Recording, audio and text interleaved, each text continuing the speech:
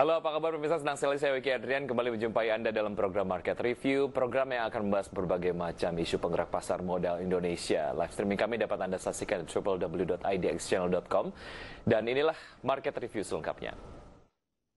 Ya, pemerintah berencana akan meningkatkan perkembangan industri startup Indonesia pada tahun 2020, di mana pihak Kementerian Perindustrian tengah menyiapkan sejumlah fasilitas untuk mewujudkan target 44 unicorn di tahun ini. Pemerintah tengah giat untuk meningkatkan perkembangan industri startup Indonesia pada tahun 2020, di mana pihak Kementerian Perindustrian dan Kementerian Pariwisata dan Ekonomi Kreatif tengah menyiapkan sejumlah fasilitas agar dapat memenuhi target 44 unicorn di sepanjang tahun ini. Sementara itu, kebijakan ini juga dinilai dapat menjadi peluang yang tepat bagi pelaku startup. Bahkan pada tahun ini beberapa tren startup diprediksi dapat semakin dilirik oleh masyarakat seperti on-demand services, fintech, e-commerce, artificial intelligence, dan Internet of Things. Para analis menilai bahwa pasar industri fintech dan e-commerce diyakini dapat menjadi besar dengan didukung regulasi yang dapat mempermudah bisnis startup. Selain itu munculnya dua sektor baru yakni health tech dan education juga dinilai para investor akan semakin menjanjikan di masa depan. Adapun untuk tahun 2020 dapat menjadi momentum yang tepat bagi pelaku startup untuk membuat sebuah inovasi dan terobosan baru. Di mana industri ini merupakan salah satu pendorong roda perekonomian negara yang terguncang akibat wabah pandemi COVID-19. Berbagai sumber IDX Channel.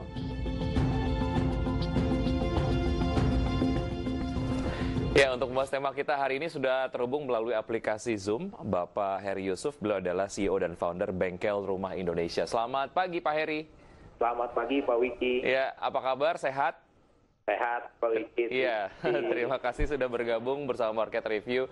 Pak Heri, um, bicara mengenai bagaimana sebetulnya uh, bengkel rumah dapat menjadi sebuah platform penyedia jasa on demand gitu ya. Iya. Um, awalnya mulai kemudian terfikir untuk Pak Heri waktu itu? Ya, awalnya kita mengidentifikasi masalah dulu Pak Wiki. Mhm. Jadi kebanyakan itu kita susah cari tukang ya Pak.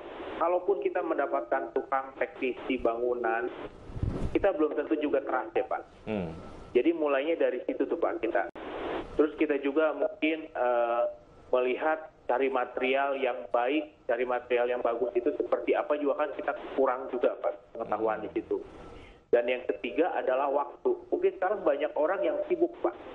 Jadi ketika dia mau renovasi rumah, dia sibuk, eh, dia reportnya juga kurang. Nah, di situlah eh, bengkel rumah itu ada Pak, identifikasi masalah awalnya Pak. Baik, dari identifikasi masalah yang sudah dilakukan, kemudian di eh, menjadi sebuah services ataupun banyak macam dari service yang ditawarkan kepada konsumen yang dapat dilihat lewat eh, bengkel rumah Indonesia ini ya. Iya. Servicesnya seperti apa? Apa saja yang ditawarkan?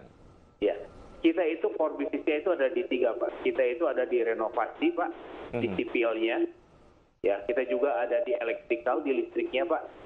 Yang ketiga ada plumbing Pak, di Hmm. pengairannya Pak. Oke, jadi Ya. itu untuk renovasi, kemudian juga reparasi, semua all in gitu ya kebutuhan-kebutuhannya gitu. Baik, eh, apa yang membuat em, Pak Heri dan juga teman-teman di bengkel rumah Indonesia ini cukup pede untuk dapat menghadirkan sebuah startup dengan spesifikasi jasa on demand? Ya, karena memang kita ngelihat balik lagi yang tadi yang kebutuhan orang ya Pak ya, khususnya Hmm. di perkotaan ya. Jadi di perkotaan ini banyak orang yang benar-benar sibuk, tetapi dia di rumah juga, apalagi sekarang ya Pak, sedang COVID. Banyak orang lagi stay at home Pak. Hmm. Jadi dia mau memiliki rumah yang nyaman. Nah kita itu hadir di situ Pak. Jadi rumah itu udah sekarang udah suatu benar-benar bukan hanya rumah, tapi Hmm. bagaimana supaya rumah itu menjadi home, homey Pak, merasakan hal yang baik itu. Baik, Eh, identifikasi masalah sudah kemudian diramu gitu, terus eh, services yang akan diberikan kepada konsumen sudah di mapping gitu ya. Ya. Nah, pada saat awal sekali nih, Pak Heri, apa yang dilakukan oleh Pak Heri? Artinya gini, rekrutmen eh, tenaga IT, kemudian juga kurasi eh, teman-teman yang, nan- yang nantinya akan dikerahkan untuk dapat memberikan service terbaik kepada konsumen ketika bicara mengenai reparasi dan juga renovasi rumah itu semua dilakukan nampaknya di tahap awal ya atau seperti apa? Ya, memang di tahap awal kita membangun tim dulu, Pak. Hmm. Ya. Tapi yang paling terpenting adalah sekarang bagaimana ini kita mendapatkan order-order, Pak. Hmm. Jadi kita harus bertahan, uh, apalagi masa COVID ini. Jadi tim itu kita bangun di awal, tapi kita langsung, Pak, mencari uh, customer, Pak. Hmm. Kita langsung cari customer, customer kita itu terbagi dari dua, Pak. Jadi ada yang B2B dan B2C. Ya, jadi ya B2B beberapa B2B ini kita juga menggarap seperti ada uh, perusahaan dari uh, otomotif dan juga ada dari aksesoris motor. Hmm. Mungkin saya nggak bisa nyebutin merek ya Pak ya, yeah. tapi mungkin Bapak sering lihat dan memakai uh, produk tersebut Pak gitu. Okay. Ya, uh, ini sebetulnya menjadi sebuah potensi yang Anda sadari, tapi kemudian ini juga disadari oleh pemain yang lain. Uh, banyak kemudian atau beberapa lah, saya juga kemudian uh, notice gitu keberadaan mereka. Uh, platform jasa on demand menawarkan pretty much the same services. Nah, ya. apa yang membuat um, bengkel rumah Indonesia ini berbeda dengan platform-platform yang lainnya? Ya, Pak. Tukang kita itu berstandar, Pak jadi ada beberapa tukang kita yang memang juga sudah kita sertifikasi. Ya. Jadi dari mulai dari sertifikasi kita sudah mulai juga tukang-tukang itu masuk. Terus eh, gratis biaya survei, Pak. Hmm. Untuk khususnya B2C. Jadi selama selama kita sampai saat ini dari kita berdiri itu gratis biaya survei, Pak. Ya. Ya. Baik, itu adalah eh, kelebihan-kelebihan yang ditawarkan gitu ya. Betul. Oke. Okay mengenai diferensiasi konsumen tadi ada B2C kemudian juga ada B2B nih. Um, challenge-nya seperti apa untuk bisa penetrate dua segmen ini, uh, Pak Heri? Ya, jadi kita punya tim dua yang berbeda, Pak. Hmm. Khusus yang buat B2B dan khusus yang buat B2C. Kemitraan di kita juga itu dibedakan, Pak, menjadi dua, Pak. Jadi kita memang di dalam uh, office kami itu kita ada dua tim yang berbeda. Khusus B2B yang uh, untuk tender, timnya juga berbeda dan itu juga standar sertifikasinya juga harus lengkap. Hmm. Sedangkan yang B2C itu nggak seperti itu Pak. Tapi hmm. B2C itu uh, bagaimana dia hanya punya standar untuk rumah Pak. Ya. Baik, tadi Anda sempat menyebutkan uh, sertifikasi. Saya tertarik untuk bisa membahas itu. Uh, sertifikasi ini artinya dilakukan oleh uh, bengkel rumah Indonesia sendiri atau sebetulnya ada uh, lembaga lain yang sebetulnya uh, bengkel rumah kemudian bekerja sama supaya betul-betul bisa mendapatkan tenaga-tenaga yang uh, kualitasnya uh, seperti yang diharapkan. Iya. Jadi itu tenaganya dari kita, hmm. tapi kita bekerja sama dengan uh, lembaga tersebut, Pak, hmm. untuk uh, tenaga kita itu disertifikasi, Pak. Oke. Okay. Baik, dari situ bisa ketahuan sebetulnya kualitasnya akan seperti apa gitu ya, dan itu yang akan coba dijaga. Baik, kita masih ada beberapa segmen, kita akan lanjutkan usaha jeda berikut ini Pak Heri dan pemirsa tetap di Market Review, kami akan segera kembali.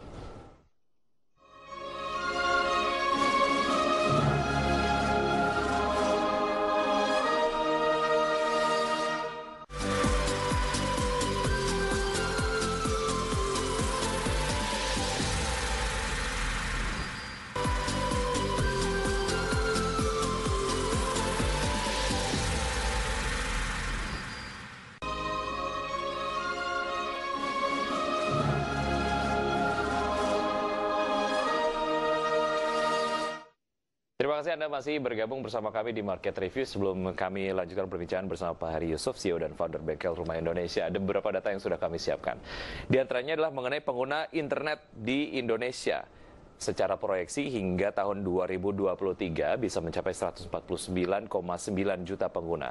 Kemudian di tahun 2020 uh, di 119,4 juta pengguna di 2021 131 juta pengguna dan di 2022 di 141,3 juta pengguna. Ini kami kompilasi datanya dari Statista. Dan berikutnya adalah mengenai negara dengan jumlah startup terbanyak. Indonesia nampaknya masuk sebagai negara dengan jumlah startup terbanyak di dunia.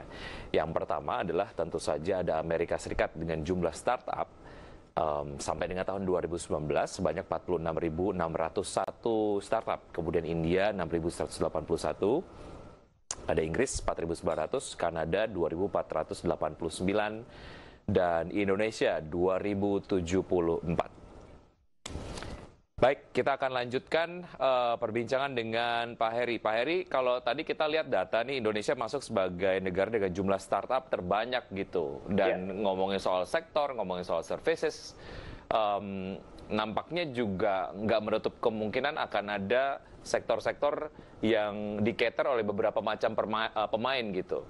Nah, strateginya untuk bertahan ataupun mungkin memenangkan persaingan yang cukup ketat, Pak Heri apa ya. yang dilakukan? Yang salah satu yang terpenting dari bengkel rumah adalah mitra, Mas. Hmm.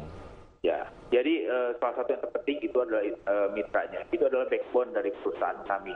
Bagaimana kami mengelola mitra, bagaimana mitra itu menjadi keluarga daripada bengkel rumah. Jadi ketika uh, ada yang membutuhkan kami itu selalu siap Pak mitra kami. Hmm. Ya. Oke. Okay. Bicara mengenai uh, bagaimana memaintain quality dari mitra ataupun partner lah ya yang tentu saja nanti akan ditugaskan untuk memberikan services yang sangat baik kepada pelanggan. Ya. Selain melalui sertifikasi secara berkala, apa yang dilakukan supaya kualitasnya betul-betul terjaga, Pak Heri? Ya. Kita ini ada training berkala, Pak, di internal kita. Jadi kita juga bekerja sama dengan beberapa perusahaan. Contohnya perusahaan set, Eh, perusahaan semen hmm. dan ada lagi beberapa perusahaan untuk melakukan pelatihan pak. Hmm. Jadi bagaimana kami memiliki teknisi itu yang berstandar. Nah di situlah kami melakukan training dan kolaborasi bersama dengan mereka pak. Baik. Uh, ketika bicara mengenai sebuah usaha yang digitalized, tentu saja dapat mengcater up apa yang disampaikan oleh konsumen. Dan ini menjadi sebuah jalur yang kayaknya agak lebih mudah dari konsumen untuk menyampaikan keluhan jika kemudian ada. Nah, bagaimana sebetulnya uh, bengkel rumah Indonesia dapat membuat keluhan-keluhan ataupun mungkin input-input lah ya yang disampaikan oleh konsumen ini menjadi sebuah bahan untuk akhirnya dapat memformulasi services yang nanti akan dideliver uh, berikutnya. Ya, kami memang ada uh, WhatsApp bisnis Pak di kita bisa lihat juga di IG-nya Bengkel Rumah Indonesia. Jadi bisa kita bisa komunikasi melalui uh, WhatsApp online tersebut Pak. Mm-hmm. Gitu. Oke. Okay. Untuk menjamin quality dari layanan, artinya kalau dari uh, mitra yang uh, ditugaskan nanti untuk bekerja gitu ya, ada juga sistem IT yang harus kuat nih. Nah itu um, apa yang dilakukan uh, Pak Heri? Kita itu uh, ke depannya kita akan memiliki aplikasi khusus untuk mitra, Pak. Hmm. Ya, di situ kita akan maintain mitra, kita di situ akan memberikan pelatihan juga, informasi juga, bagaimana cara karakter dan nggak hanya teknis aja Pak untuk uh, pekerjaan, tetapi bagaimana kita menjadi manusia yang bermental kuat, berpikir positif, uh, gitu Pak. Jadi nggak hanya teknisi aja yang hmm. kita, cara teknis aja yang kita latih, tetapi bagaimana juga dia cara untuk memanage keuangan mereka, bagaimana juga mereka berkarakter begitu Pak. Itu juga yeah. kita akan latih. Secara sistem IT juga nanti akan dibuat semumpuni mungkin ya Pak Heri ya? Ya. Oke. Okay. Secara uh, segmentasi tadi Anda sudah sampaikan ada B2B kemudian juga ada B2C. Sejauh ini apakah hanya di kota-kota besar saja atau mungkin secara ekspansi ke depan pengennya ini mengcater seluruh daerah yang ada di Indonesia? Iya Pak. Kita rencananya mau merambah Pak ke daerah-daerah yang lain Pak. Hmm. Untuk saat ini masih di kota-kota besar, hmm. uh, khususnya Bandung Raya sih Pak. Okay. Rencananya tahun ini kita mau masuk ke Jakarta dan Surabaya, tapi melihat kondisi yang ada, jadi kita uh, pospon dulu Pak. Baik, kondisi konsumen, uh, apakah itu B2B ataupun B2C, setiap kota uh, yang saya tahu kemudian berbeda-beda nih, uh, Pak Heri. Bagaimana Anda dapat membaca itu dan bagaimana Anda dapat mengakomodir karakter uh, konsumen yang ada di setiap daerah di Indonesia yang nantinya kemudian akan merasa terpuaskan dalam tanda kutip dari servis yang Anda nanti akan sampaikan. Ya. Kalau relatifnya kalau di kota-kota besar itu relatif mereka sama pak, hmm. ya dengan mereka yang sibuk dengan pekerjaan mereka, mereka nggak mau ribet pak, hmm. tetapi mereka mau transparan apa yang sudah kita kerjakan. Jadi material itu kita keluarkan secara transparan Pak harganya semuanya. Baik. Dan reportnya juga kita akan berkala Pak. Oke. Okay. Secara uh, umum seperti itu Pak kalau di kota-kota besar. Mm -hmm. Ya, oke. Okay. Uh, eh, Pak Heri, mengenai apa yang sudah uh, dilakukan uh, sejauh ini, ap apa yang perlu ditingkatkan? Artinya untuk melakukan ekspansi ke area-area yang Anda tuju lah ya, selain kota Bandung, kemudian kota-kota besar lainnya. Apa yang perlu ditingkatkan dan apa yang sebetulnya uh, diperlukan untuk peningkatan dari uh, tadi? Ya, memang ini suatu yang cukup uh, PR buat kita Pak jadi memang untuk bisnis ini kita memerlukan dana yang cukup besar. Hmm. Jadi makanya kita uh, jadi, apa bagian dari inkubator kita tuh diajari bagaimana kita untuk jadi IPO, Pak. Jadi nanti dengan dana yang ada kita akan memperbesar pasar kita Pak di Indonesia gitu Pak. Hmm.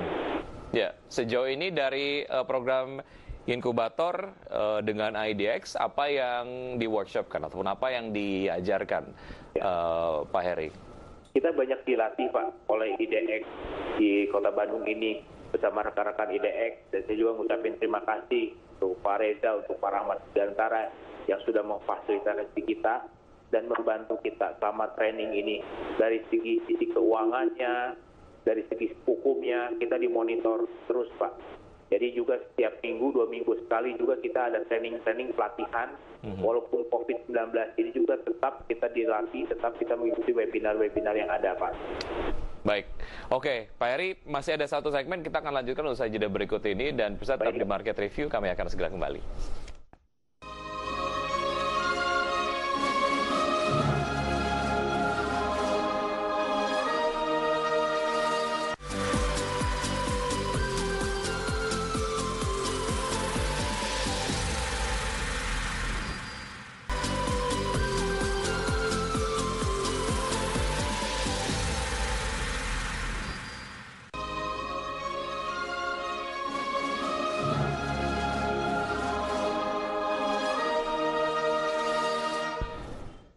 Terima kasih Anda masih bersama kami, masih bersama Bapak um, Heri Yusuf CEO dan founder Bengkel Rumah Indonesia.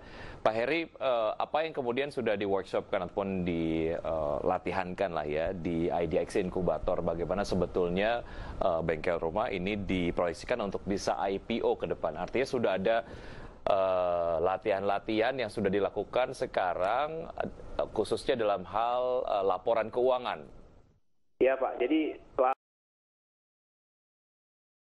selama ini itu eh, kita buka usaha, saya ada usaha yang lain. Selama ini tuh kita menjalankan uh, mungkin otodidak mungkin ya Pak ya dari hmm. awalnya. Tetapi di sini tuh kita benar-benar diajarkan secara profesional Pak. Hmm.